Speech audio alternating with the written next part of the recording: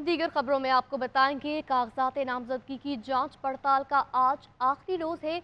Returning अफसरान के फैसलों के खिलाफ अपील तीन जनवरी तक दायर की जा सकेगी।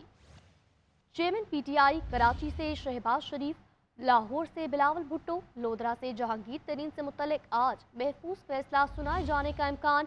मुराद सईद के कागजात नामजदगी मुस्तरद। हमाद अजहर के कागजात पर एतराज़ आए।